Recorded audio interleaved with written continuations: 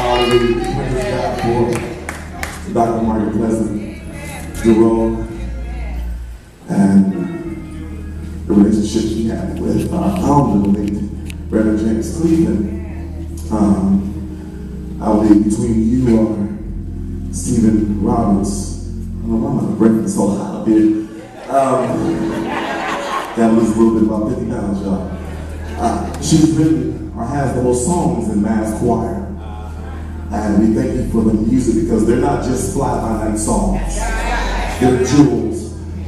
And for young people who don't know